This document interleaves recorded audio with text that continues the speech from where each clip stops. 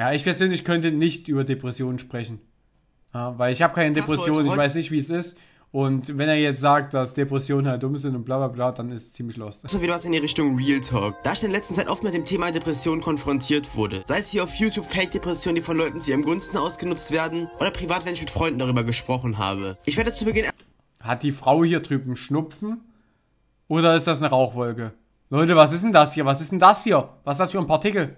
Ist das Schnupfen? Erstmal objektiv an die ganze Sache rangehen und dann auch mal subjektiv und von meinen eigenen Erfahrungen erzählen. Vielleicht gibt's auch ein Gastpart von Mr. Dino, außer ist mal wieder zu faul, aber naja, das seht ihr ja dann. Was sind Depressionen überhaupt? Depression ist eine Volkskrankheit. Im Laufe eines Jahres sind 8,2% der deutschen Bevölkerung daran erkrankt. 11% der Frauen und 5% der Männer. Weltweit leiden inzwischen ca. 350 Millionen Menschen an einer Depression. Die Probleme bei Depressionen sind einmal, dass es eine der meist unterschätztesten Krankheiten und dazu einer der schlimmsten ist. Dazu kommt, dass es für Außenstehende sehr schwer zu erkennen ist, ob eine Person Person an Depression leidet. Und genau das macht diese Krankheit so gefährlich. Man wird zum Beispiel lustlos, hat keinen Antrieb mehr, man hat Schuldgefühle und fühlt sich wertlos. Und da dies meistens für Außenstehende nicht zu erkennen ist, kann diesen Personen nicht geholfen werden, weil die Personen entweder nicht zum Arzt gehen wollen oder was viel häufiger der Fall ist, dass sie nicht mal merken, dass sie überhaupt was haben. Und was Depressionen für Folgen haben können, wissen wir, denke ich, alle. Was kann man gegen Depressionen tun? Natürlich sollte man sowas zum Arzt gehen, aber wie eben schon gesagt, ist es alles nicht so einfach. Eigentlich sind während einer Depression nicht die Person selber, sondern das Umfeld, was das dagegen tun kann. Aber dafür müssen diese erstmal davon wissen. Also kann ich nur als Tipp geben, sucht euch jemanden, sei es aus einem Freundeskreis oder der Familie, dem ihr vertraut und redet mit ihm darüber. Und diese unterstützen euch dann im besten Fall. Aus eigener Erfahrung mit dem Thema kann ich nur sagen, dass es ziemlich hilft, mit Freunden darüber zu reden. Auch Internetfreunde. Und nein, damit meine ich keine Leute, die ihr seit zwei Wochen kennt und als Freunde bezeichnet. Denn genau das sind eben nicht eure Freunde. Oder wenn ihr bemerkt oder vermutet, dass jemand aus eurem Freundeskreis Depressionen haben könnte, geht mit ihm zum Arzt, da der Person dort viel besser geholfen werden kann, sei es mit einer Therapie oder Antidepressiva. Kommen wir zur letzten Frage.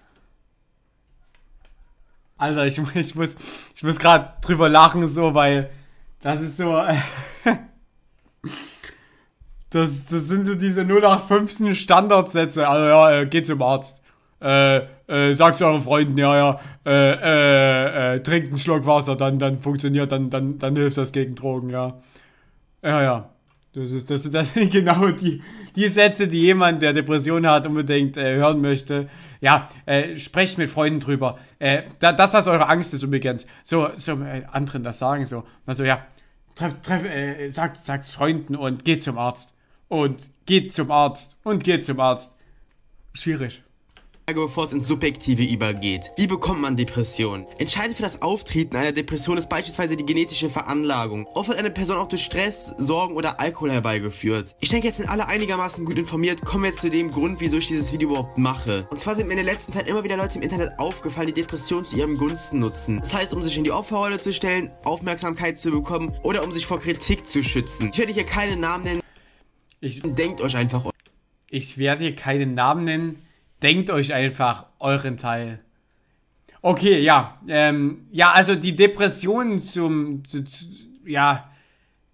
Äh, die Depressionen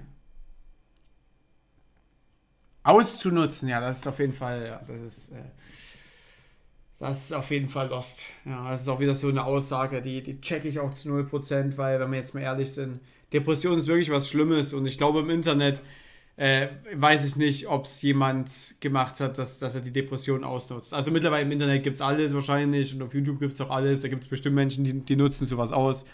Aber ich gehe jetzt mal nicht davon aus, dass bekannte äh, deutsche YouTuber unbedingt diese Depression krass missbraucht haben, ja. Ich denke, das ist einfach nur Lost, was er hier labert und er weiß, denke ich, selber nicht, was eine Depression ist und deswegen kann er auch nicht wirklich davon reden. Schwierig. Schwierige Aussagen, muss ich wirklich sagen. Politik umgehen kann, benutzt man sowas, um sich davor zu schützen. Und genau solche Menschen sind schuld daran, dass diese Krankheit so unterschätzt wird. Es im Internet ja dann jeder Zweite hat. Behauptet am besten gar nicht, dass ihr depressiv seid, wenn ihr es nicht vom Arzt diagnostiziert bekommen habt. Ein kleiner Mental Breakdown ist zum Beispiel noch lange kein... also, also du hast übrigens keine Depression, wenn der Arzt das nicht gesagt hat. Alter, ach du Scheiße. Junge, was sind das hier Aussagen? Holy shit. Junge, was, was sind das? Jetzt, was, was sind das gerade eben für Aussagen? Also, de, du hast übrigens keine Depression, wenn der Arzt das nicht diagnostiziert hat. Ja, Bruder, genau, äh, das ist, das ist genau, äh, so sollte man über diese Krankheit reden, ja. Ja, also ich, also ich muss erst mal sagen, das, was ich bis jetzt angeguckt habe von Kluter, also ich habe mir bisher seinen Kanal ja eh noch nie angeguckt, die Aussagen, die hier getroffen werden, sind extrem schwierig und ich kann dahingehend deine Meinung auf jeden Fall verstehen. Beziehungsweise, ähm, du redest ja noch weiter darüber, über dieses Video wahrscheinlich. Ähm, es ist nicht nur, nicht nur schwierige Aussagen, sondern einfach nur unfassbar dumme Aussagen keine Depression. Genauso wenn ihr euch drei bis vier Tage schlecht fühlt. Ich frage mich bei solchen Menschen einfach nur, ob es ihnen absolut egal ist, wie unmoralisch sie sind. Sei es eine Sexualität. Das sagt er doch gar nicht. Ja, klar hat er das gerade eben gesagt, Bruder. Darum geht's ja gerade. Jeder Zweite hat. Behauptet am besten gar nicht, dass ihr depressiv seid, wenn ihr es nicht vom Arzt diagnostiziert bekommen habt. Ein Hast du es gehört?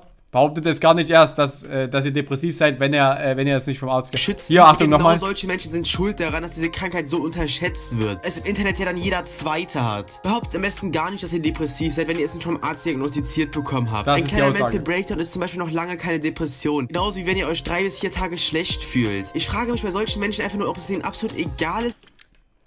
Junge, das werden doch die Leute wissen.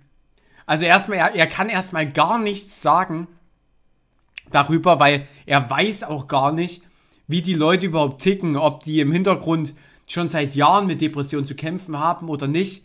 Ja, was ist das für eine Scheiße? Also ich meine, ich werde niemals, also über so eine Krankheit, ne? Ich habe damals auch mal, äh, oder auch schon des Öfteren betont, dass ich nicht weiß, wie man depressiv sein kann. Ja, aber ich glaube, jeder, der, der dann irgendwann mal in das Alter kommt und sich Gedanken macht über gewisse Dinge und äh, vielleicht mal eine Zeit lang nur Negatives erfährt, ich glaube, der weiß dann, wie das ist. Ja.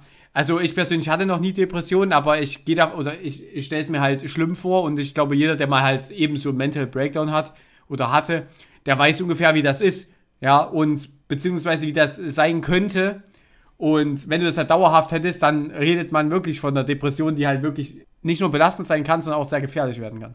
Wie unmoralisch sie sind. Sei es eine Sexualität, ja, Carsten, eine das Krankheit, denke ich auch, Depression. Ja. Also ich kann gar so krass viel kann ich gar nicht sagen, weil ich persönlich war nie depressiv, bin nicht depressiv. Ich würde aber so eine Krankheit nicht äh, ja, so harmlos darstellen, wie er das macht. Ja.